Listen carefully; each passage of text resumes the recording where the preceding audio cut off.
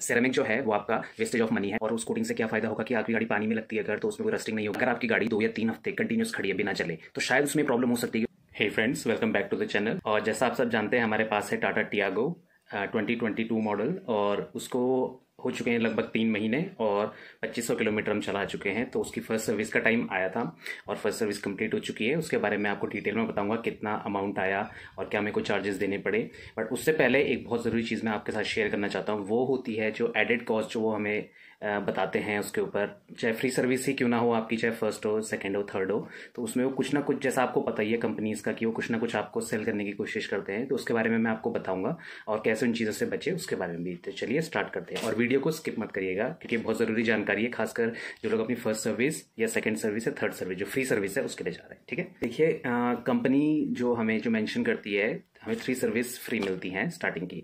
तो जो पहली होती है, वो अराउंड हज़ार किलोमीटर पे होती है जनरल चेकअप होता है। उसमें कुछ नहीं, उसमें थोड़ा बहुत टॉप अप वगैरह जो भी होता है, वो इंक्लूड होता है और वॉशिंग और क्लीनिंग होती है और ज़्यादा कुछ नहीं होता है।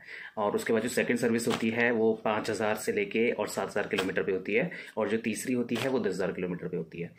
तो हमारी जो थी फ़र्स्ट सर्विस वो फ्री थी और हम, हमें जो गाड़ी मिलनी थी वो लगभग एक से दो घंटा धुलाई वुलाई में कितना टाइम लगता है। बट फिर उन्होंने हमें जो एडिड चीज़ें बताई वो मैं आपके साथ डिस्कस करना चाहता हूँ। तो सबसे पहली चीज़ जो उन्होंने बताई हमें, वो थी एंटी रस्ट कोटिंग तो पहले मैं आपको बता दूँ एंटी रस्ट कोटिंग क्या होती है? जो हमारा जो इंजन बे होता है नीचे से, जो गाड़ी का जो लोअर पार्ट होता है, उसमें क्या, ये बोलते हैं कि भाई उसमें आप एक कोटिंग करा लीजिए हमसे, और उस कोटिंग से क्या फ़ायदा होगा कि आपकी गाड़ी पानी में लगती है अगर तो उसमें कोई रस्टिंग नहीं होगी, और थोड़ा सा मतलब उसकी लाइफ बढ़ जाएगी। बट सोचने वाली बात यह है कि जब नई गाड़ी बनती है तो वो ऑलरेडी उसमें ये चीज़ें होके आती है प्लांट से। मतलब कंपनी पूरा उसे प्रोटेक्शन देती है नीचे से कि भाई ऐसी कोई प्रॉब्लम ना हो, क्योंकि गाड़ी ने जब वलेगी एडवर्स वेदर कंडीशन में तो उसमें पानी लगेगा, कीचड़ लगेगा तो उसके लिए कंपनी पहले से ही प्रिपेयर रहती है। ऐसा तो नहीं होगा कि बिना पेंट किए दे देंगे। तो वो चीज़ उसमें ऑलरेडी इंक्लूड होती है तो मेरी आपसे रिक्वेस्ट है कि जब भी आपको कोई एंटी रस कोटिंग बोले नई गाड़ी में स्पेशली तो आपको सीधे मना करना है। तो उसकी जो कॉस्ट थी, वो लगभग हज़ार से पंद्रह सौ रुपये जो उन्होंने बताई थी मुझे अप्रॉक्स इतना ही था इसके बीच में।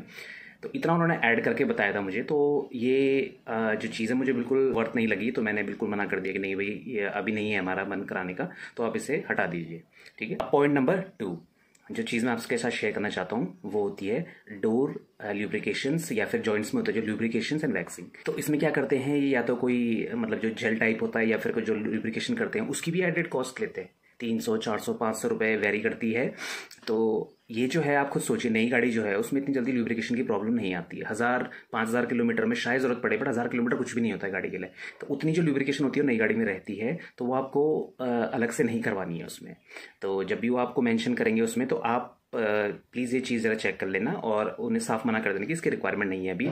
कोई ज़्यादा खास आपको पता भी नहीं चलेगा, उन्होंने डाला, नहीं डाला तो आपको नहीं कराने की ज़रूरत है, ठीक तीसरा पॉइंट जो मैं आपके साथ डिस्कस करना चाहता हूँ, वो एंटी रैट स्प्रे जो होता है, वो जैसे आपकी गाड़ी खड़ी है तो उसमें चूहे वगैरह कभी कभी वायर कटिंग कर लेते हैं तो वो प्रॉब्लम को अवॉइड करने के लिए कंपनी वाले बोलते हैं कि भाई आप एक स्प्रे लगा लीजिए तो उससे रैट जो है वो नहीं आएँगे। बस सोचने वाली बात यह है कि देखिए, अगर आपकी गाड़ी दो या तीन हफ़्ते कंटिन्यूस खड़ी है, बिना चले तो शायद उसमें प्रॉब्लम हो सकती है कि उसके अंदर कोई कीड़ा या कोई मतलब जैसे छिपकली वगैरह घुस सकती है, अगर आप ऐसे एरिया में रहते हैं, खुले में खड़ी है आपकी गाड़ी तब। बट अगर आपकी गाड़ी प्रॉपर आपकी पार्किंग में खड़ी है, और वहाँ पर ऐसी कोई प्रॉब्लम नहीं है रैट्स की, या फिर आपकी गाड़ी चलती है, तीन या चार दिन में भी चल रही है तो कोई प्रॉब्लम नहीं है तो उसमें रैट्स आ ही नहीं सकते हैं।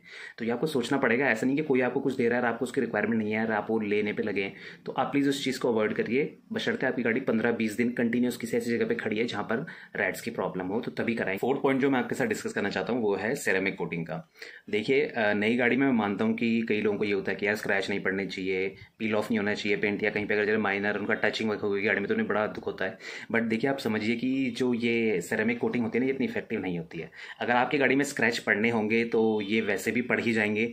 और जो सेरेमिक कोटिंग है, वो बहुत ही ज़्यादा एफिशिएंट नहीं है स्क्रैचेस को रोकने में। हाँ पीपीएफ की बात अलग है। पीपीएफ कोटिंग अगर आप कराते हैं तो वो एक हद तक, वो भी माइनर से माइनर स्क्रैचेस को रोकता है और वो भी इफ़ेक्टिव नहीं है बड़ी स्क्रैचेस के लिए। अगर कहीं आपका हिट होता है गाड़ी कहीं पर तो आप ये चीज़ ध्यान में रखिए कि सेरेमिक कोटिंग के लिए तो आपको बिल्कुल मना करना है। वो काफ़ी कॉस्टली चीज़ है और नई गाड़ी में अगर आप सेरेमिक कोटिंग कराते हैं, उससे बेटर है कि आप थोड़ा सा पैसा और जोड़ के कुछ टाइम बाद आप उसमें पीपीएफ करा दीजिए। अगर आपको कराना ही है एक और चीज़ जो उन्होंने हमें बोली थी, वो ये थी कि वो एक किट दे रहे थे हमें कॉम्बो, जिसमें आपका एक तो क्लीनिंग टावल था जो माइक्रोफाइबर होता है और उसके साथ आपका जो पॉलिश वगैरह होती है, ये वाला जो था, इसका एक किट था उन्होंने बना रखा, और वॉशिंग शैम्पू का। तो वो भी सिक्स हंड्रेड अराउंड कॉस्ट थी उसकी तो ऑलरेडी हम यूज़ कर रहे हैं।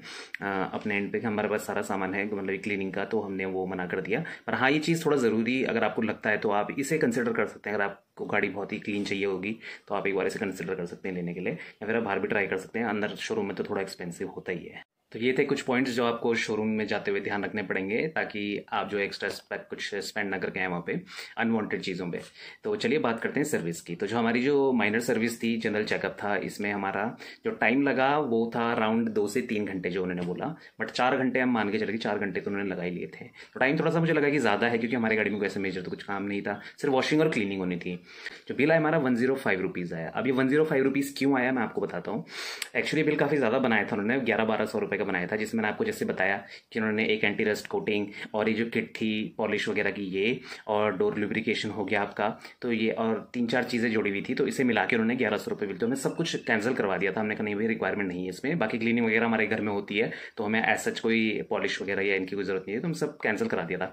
जो दो चीज़ें हमने जो कैंसिल नहीं करवाई थी, जो थोड़ा सा हमें लगा कि यार शायद इसकी ज़रूरत हो वो था, एक तो बैटरी का जो वाटर था, इन्होंने बोला कि उसमें थोड़ा सा रिफिलिंग चाहिए तो उसका इन्होंने लिया है चार्ज हमसे और दूसरा जो चार्ज जो अराउंड एटी रुपीज़ का जो हमें लगा है वो इन्होंने कोई वाइपर में विंडशील्ड फ्लूड कोई बोलते हैं ये वो डालते हैं कि इससे बेटर क्लीनिंग होती है। खैर वो भी मुझे आ, मतलब वेस्टेज ऑफ़ मनी लगा बट पता नहीं क्यों यार उस टाइम में मना नहीं कर पाया। मैंने चेक भी नहीं करा था ये फ्लूड जाते हुए तो मैंने कहा कहीं ख़त्म ना हो जाए इसमें तो उस चक्कर में मैंने वो रहने दिया था। तो सारा अमाउंट जीएसटी वगैरह जोड़ के वन ज़ीरो फाइव रुपीज़ हुआ था जो हमने पे करा। तो बस यही था फ़र्स्ट सर्विस का एक्सपीरियंस हमारा। थोड़ा टाइम ज़्यादा लगा।